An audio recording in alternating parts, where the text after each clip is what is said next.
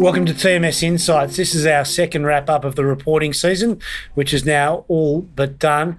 Um, and just a little reminder we're in the middle of works on our floor here. So, Ben, we're a bit dislocated as we are, but quality of the vid- videography is still high level and uh, the content will be very good, I'm sure. well, yeah, if you can the, see the carnage behind the camera at the moment, the you'd side. understand more. Anyway, um, we're getting but, through it. But there wasn't carnage on the market. Uh, reporting no. season was better than expected. We think about 60% of companies beat expectations in the season. Yep. Uh, 30% missed. That's normal. That's yep.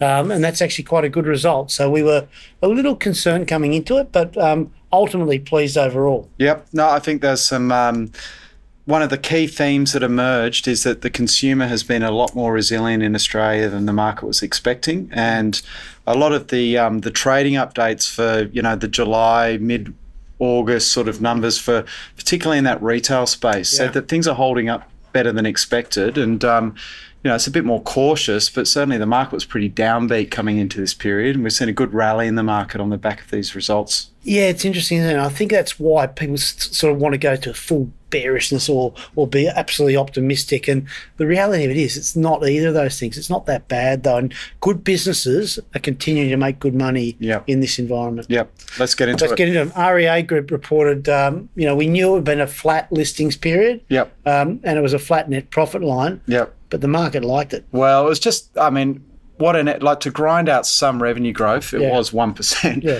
But when you think what they were cycling against in the previous year, which was a frenetic period of housing market yep. activity. Um, but what the market really cottoned onto is we are now seeing listings return to growth. Um, and I think, you know, anecdotally, we're all seeing and hearing that in front of us. Um, we saw REA put through a pretty significant price rise back in March. Yep. And so we're going to now be cycling against Good a numbers. very weak period yeah, yeah. Um, and with some big drivers, and the market's onto it now. And they love a company that can put up prices and doesn't impact on their sales. That's Completely. a great thing. So yeah. it's a terrific business and it remains well appreciated by the market. Look, another one, Ben, I know you wrote a very good article there that made uh, wide publicity. People may have read it on Goodman Group Goodman, a really good result from them.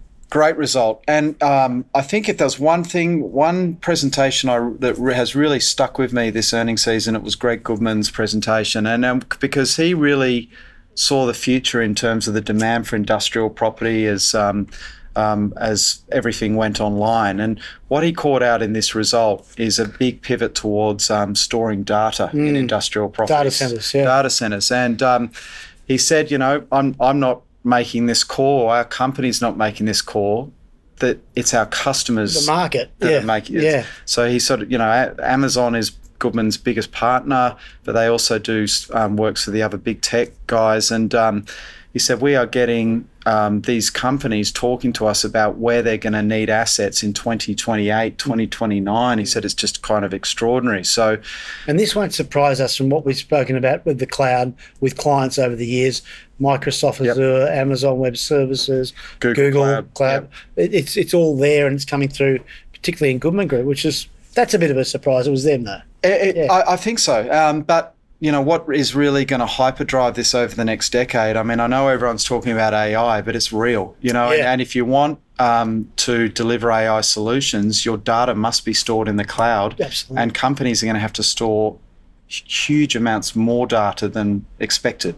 Yeah. So it's that was an interesting one for me, and um, and at the time of, of, security about internet and data, of course, it's pretty relevant. Yep. So that was good. I know one that you also found really good. We've heard from Aram um, a number of times at uh, Altium. That was a cracking result. The market loved that. Yeah, yeah, yeah. No, they they that was probably one of the highlights for me. Um, it wasn't so much the numbers themselves. It was more the we are seeing serious uptake onto into the cloud. Yeah, Altium three six five, same theme. Yeah. Um, and you know they they again they're cycling against a period where a lot of engineering work was put on hold for COVID. Yeah. For COVID, yeah. and so the engineers weren't as active. So the usage of the platform, and so uh, you know I think it's still another thing, Jeremy, is there's companies cycling against unusually strong periods unusually weak periods. Different for every business. Still normalising. Yeah. yeah. And um, but teams was clearly I think, a standout sort of result. Um, one that was sort of a very fine result, but a dreadful market reaction afterwards was WiseTech. Yeah, yeah. it had been just so strong, hadn't yeah, it? So, yeah, uh, it ran very hard into the result.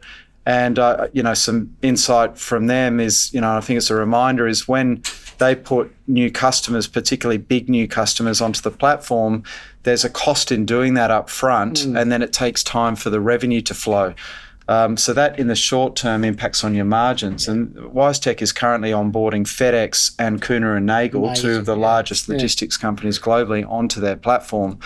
Um, the outlook, I think, is still superb. Yeah. The share price has come off, but, but, it, but it's got big happens. multiples, and that's what happens with those high growth stocks. So yep. you do see that. If I said to you, Ben, that Wesfarmers would take a rally on the back of its performance out of Kmart, I think a few years ago, we all had a big laugh. Yeah. We know what a great business, business Bunnings is, but actually, it, it was the result of those mid tier retailers yeah. that helped promote Wesfarmers. Absolutely. I mean, you know, Bunnings did, I think, 4% revenue growth. Kmart did 25. Yeah. But again, in the 12 months prior, everyone was going nuts doing stuff on their house and garden because they're right. stuck at home. Yeah. And so for Bunnings just to have grown against that period is a very impressive effort. Mm. But you're right. I mean, it was really the lithium exposure we've been speaking yeah. about with Wesfarmers. That's it was right. Kmart that delivered the the frosting, and um, they've gone ex dividend and carried the dividend and carried the dividend. Yeah, um, so that's yeah. a pretty big top company, of course. Yeah. We've always liked it. And talking lithium, talking about a very interesting, good company, Mineral Resources. You mm. know, in terms of well, lithium and everything else it's doing. Um, that that's had a fair bit of share price volatility. So Big time. You know, it, it's appearing as a trading stock, really. Yeah. I mean, you know, iron ore's been volatile, and they, yeah. these guys are still a big producer, and they're a high cost producer of iron ore. Lithium price is volatile, and there has been a very rapid change of strategy Absolutely. with the lithium yeah. um, thing where they've gone from selling spodumene to processing to pulling back into countries, out of mm. countries. I think FY24 looks like a consolidation year for Min when you read the analyst yeah. notes, and it's lift off into FY25. They're very upbeat about the future, yeah. aren't they? So yeah. you don't get a sense that there's not a pipeline of opportunities they're looking oh, at. I mean, Chris Ellison said that almost the problem we have is we have too many opportunities, and it's trying to work out where to allocate capital to right. what's the best one. Um, yeah. So, you know, gas is a big opportunity for Potentially them. for them too. Yeah. We touch on iron ore, so let's do BHP and we'll say, um, again, these are not the, these weren't the halcyon days for, for the, the, you know, bulk commodities, um, but we've seen some very good ones, still returning very well. Dividend yeah. was cut pretty heavily. So dividend was a bit yeah. of a negative surprise. You know, just a bit weaker than expected, but still yeah, a very good appropriate dividend. in these environments. Yeah, yeah I think so. Yeah, and, and, look, the iron ore price has bounced since the result. It flirted with hundred dollars yeah, not too long ago. Um, China looks like it's starting to really ramp up some stimulus efforts. We're seeing them cut mortgage rates, starting to free up liquidity. That's maybe a good sign for the mm. Chinese mm. economy, which seems like it's in a bit of a funk at the moment. But you know, BHP best in class. Yeah. You, you, the copper story is still there. You know, it's yeah. something that's going to play out over the next decade. That's it. That's it. Um, just some other stocks, just briefly before we leave off on this one. A couple of the results that I listened into, IDP Education, thought was a really, really good result, Ben. Yep. Again, cycling interesting and different difficult environment last time. Absolutely. Um, share price arrived though; it's moved up appropriately. Yep. PEX is very low. The share price. Yes. And the catalyst may only be, uh, you know, something like a PE takeover or something of that kind. But they and Premier Investments with its split, yeah.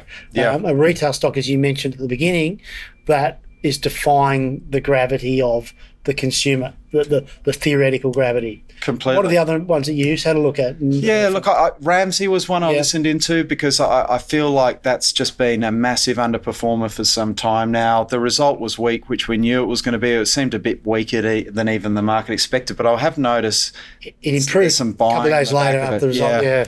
And you know, this is a business that owns incredible property assets, um, yeah, which are valued at cost.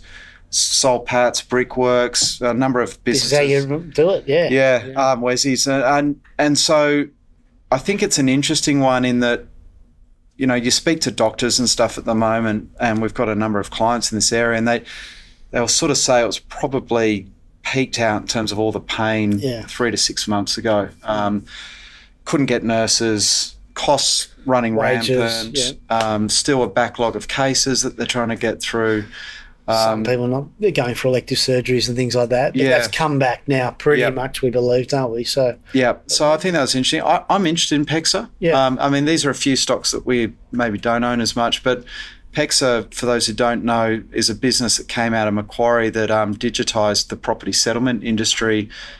90% plus EBIT margins. Yeah. I mean, we sort of thought, imagine REA buying PEXA. Would, well, it could be. It could, it could be a private equity. It could be something like that. But they've done. They bought Mortgage Choice, of course. So yeah. it is interesting. It. It's definitely a play there potentially. Yeah. Um, and again, that it wasn't a high earnings period. So this is like well, Ramsay actually when you do it. Yeah. Ramsay got a pri- private equity bid last year that yeah. didn't materialise. So you know they're in focus. These sorts of businesses. Yeah. As they would be. Um, ben, the, the, the the market finished a little bit lower for the month of August. September you know, it's it's more or less about the companies getting out and seeing investors, yep. and for us clients. Um, yep. But but this is a time when we don't get as much individual stock news, is it? No, that's right. So we'll we'll the, the, the news flow, thankfully, will will slow for a little while because it has been it's been pretty crazy. But um, look, I, I, I think the reporting season, the inflation data that came out during yeah. the reporting season. Um, bodes well for the run into the end of the year yeah. because we are seeing earnings have held up better than consensus. Better than expected. It feels like rates have potentially peaked for now. Um, you know, that's going to be an we've ongoing piece. We've certainly seen bond yields retreat from yep. higher levels, which is comforting from equity markets. Yep. And um, the Aussie dollar's been very weak, which is good for a lot of US dollar earning yeah, exactly. Australian businesses. Yep. That's yep. going to, if this holds, this we're going to see consensus upgrades coming through there as well. Um, and there's opportunities out there. Like I, I, still feel it's like a very. It's not like everything is hot. And no, you know, small really, caps like, are still pretty low. And small caps are yeah. That that looks like a value area. So there's plenty to talk about, and we, you know, we, will wrap up this review of the reporting season here, and look forward to bring all our uh, clients and viewers another update in September. Yep. Um, um, and we look forward to, to speaking to you then.